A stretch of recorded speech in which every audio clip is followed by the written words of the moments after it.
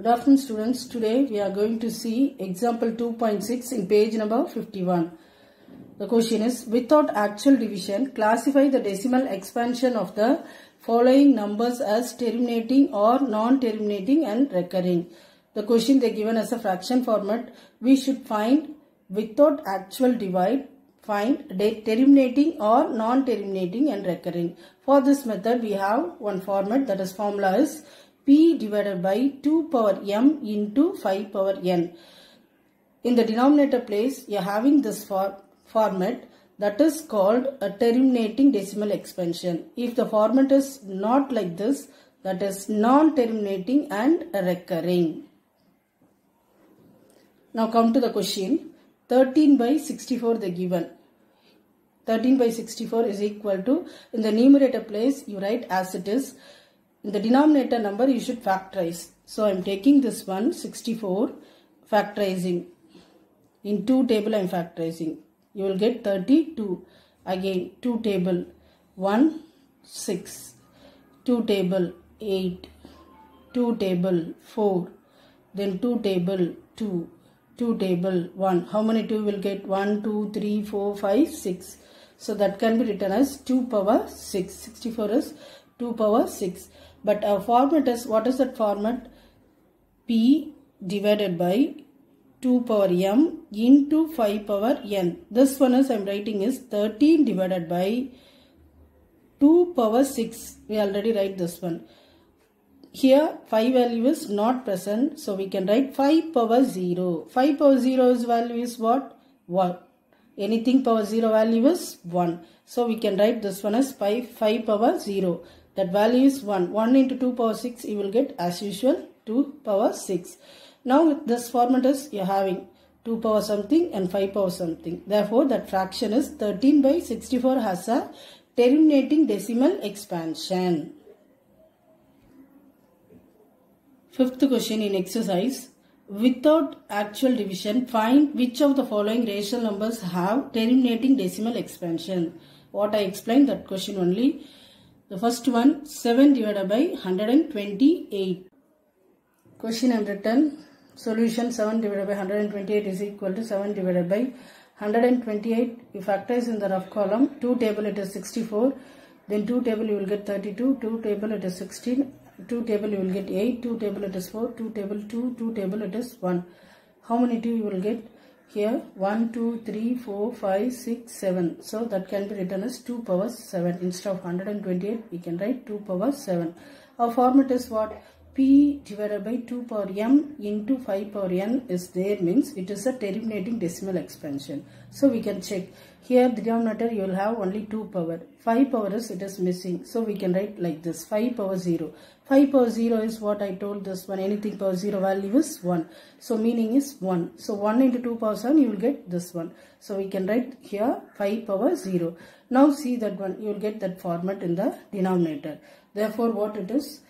7 divided by 128 has a terminating decimal expansion. Second question 21 divided by 15 is equal to 21 is I am factorizing here. It is 7 into 3 7 3s are 21 no? So you, you can write 7 into 3 divided by 15 when you factorize 3 table 5 5 table it is 1 how will you write this one 3 is how many times 1 times. So 3 power 1 into 5 is how many times 1 times. So 5 power 1 here see that numerator 1 3 is present. Denominator 3 is present. So 3 3 get cancelled. Now you will get 7 divided by 5 that is 5 power 1 here what is that format is missing? See come to that format p divided by 2 power m into 5 power n here 2 power is missing so instead of that one what we should write 2 power 0 2 power 0 is what what is the value it is 1 so the value we cannot change. We can write 2 power 0 into 5 power 1. Now you will get that format. Therefore, 21 divided by 15 has a terminating decimal expansion. Third question, 4, 9 divided by 35. What fraction it is? Mixed fraction they given. That one you should convert it into improper fraction. How will you convert? You multiply this one. 4 into 35. 140. 140 plus 9, 149 divided by 35. Now you will get a one fraction that is improper fraction is equal to 149 we cannot factorize. So I am written as it is divided by 35 I am factorizing. 5 table it is 7 times, 7 table it is 1 time. So we can write 5 power 1, 5 is 1 times no, so 5 power 1, 7 is 1 time, so 7 power 1. Our format is what? P divided by 2 power m into 5 power n. Come to this question. Here it is, you will get 5 power into 7 power only you are getting. 2 power is missing, 7 is coming newly. Therefore, it is not that format. So, we can write 149 divided by 35 has a non-terminating decimal expansion. Fourth question, 219 divided by 2200. Solution, that question I am written is equal to the numerator plus 219 divided by the denominator we should factorize. 2 table it is 1100. 11 table you will get 100. 2 table it is 50. 2 table it is 25. 5 table it is 5. 5 table it is 1 in the denominator place 2 2 is how many times it is repeating. 1 2 3 so 2 power 3 into 5 is 2 times it is. So 5 power 2 into 11 11 is 1 times. Our format is what? P divided by 2 power m into 5 power n. Here 2 is there 5 is there but 11 is extra is coming so it is not that format therefore 219 divided by 2200 has a non-terminating decimal expansion. Next we will see that exercise 2.3 the first question represent the following irrational numbers on the number line. The question is root 3. What is our question is how to represent uh, root 3. Root 3 is a irrational number. Root 3 is on the number line. How to represent the root 3 on the number line. This is a diagram. I'll teach that one. Here I am going to draw how to represent root 3 on the number line. Take a scale. First draw a line segment up to 3.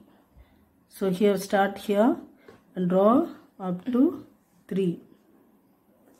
After that make a dot starting and ending give the name A, B. Then extend this line. A extended, make a arrow mark. Then from B point extend 1 centimeter mark 1 centimeter here make a dot like this. Here you should give that name as C. Now we, are, we have to find the midpoint of AC. So middle point we should find for AC. How will you find? By using a perpendicular bisector line. Perpendicular bisector how will you draw means this is a full segment AC. See here for this, I am going to draw a perpendicular bisector. Take more than half of this AC. By using compass, take more than half. Draw the arc above and below the line. Then another side also keep it here and cut the arc. This is perpendicular bisector line. Then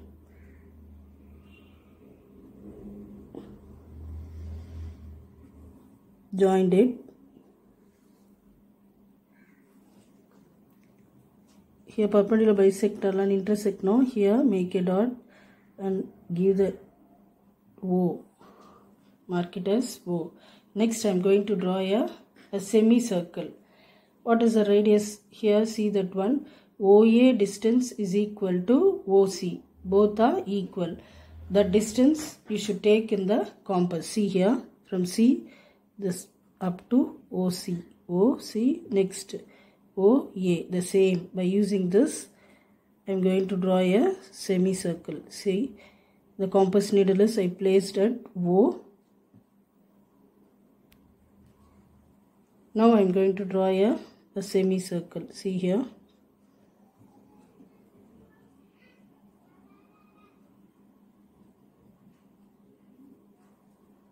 I drawn the semicircle. Then you draw a line B here, see here.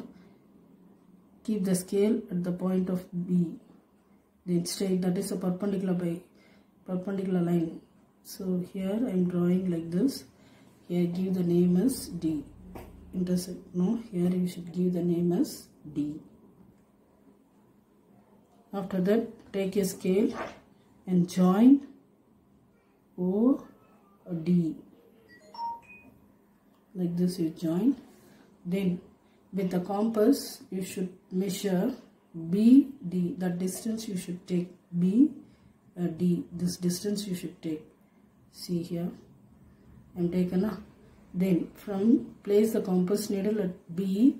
Draw the arc like this. See here place the compass needle at B draw the arc like this this is E you should give E and given now where it is root 3 is present is this distance that is BD is equal to BE that is root 3 see here BD this distance only we drawn here BE. So this one is root 3. Here BE that is root 3. So BD is equal to BE is equal to root 3. So here it is present on the number line.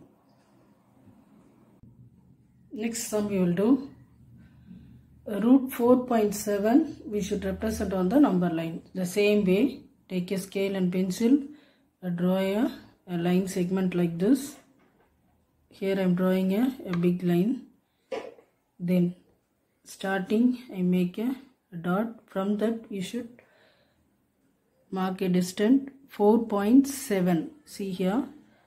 Here start 4.7 here up to this one 4.7 so make a dot this one.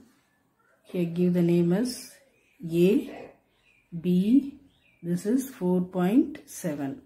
Then I told no, you should mark after that 1 centimeter from B and up to this mark 1 centimeter.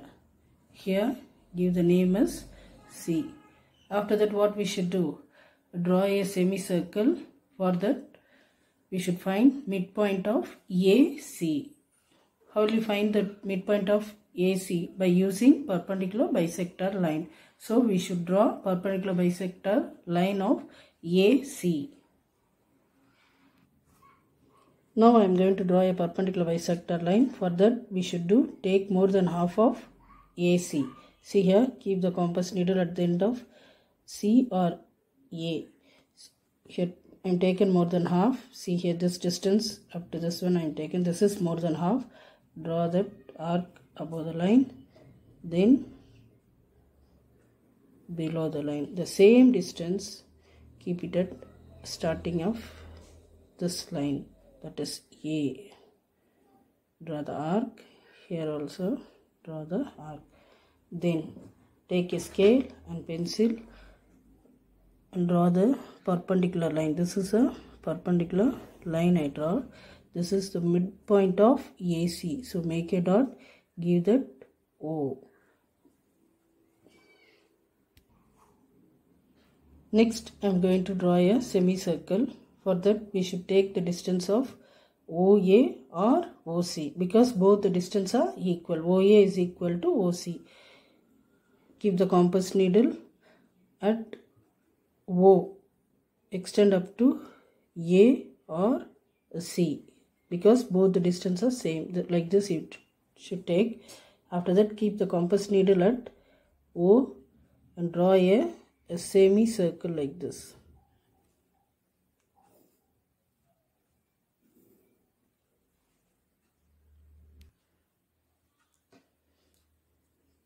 Draw the semicircle like this. Then where you mark the B point, no, that place you keep the scale like this.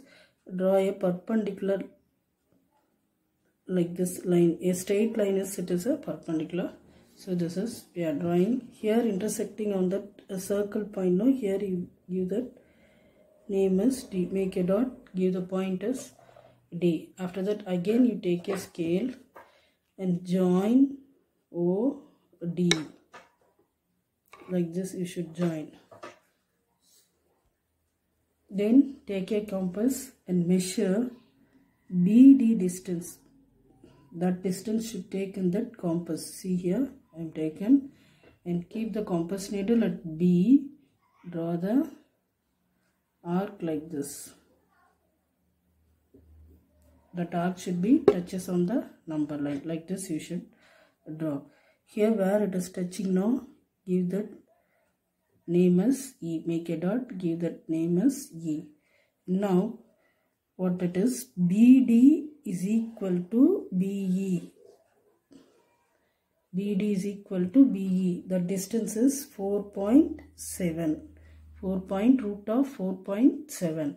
So BD, this is root 4.7. Here this one is BE 4.7 root of 4.7. That's all. I thought two problem. That two problem do it in your classwork note. Don't draw in that geometry note. You should do in the classwork note. And third problem is a homework. Thank you students.